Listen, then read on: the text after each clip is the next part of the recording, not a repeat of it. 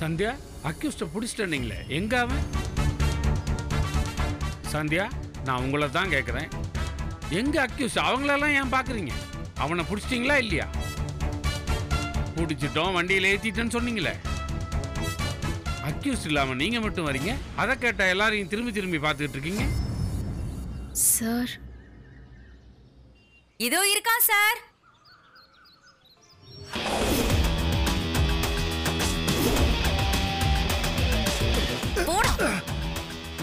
இருக்கு. எங்கடா பிடிக்கிறீங்க இந்த அடமொழியை?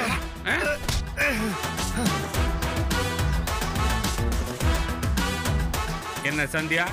சார் ரொம்ப வேலை வாங்கிட்டாரா என்ன?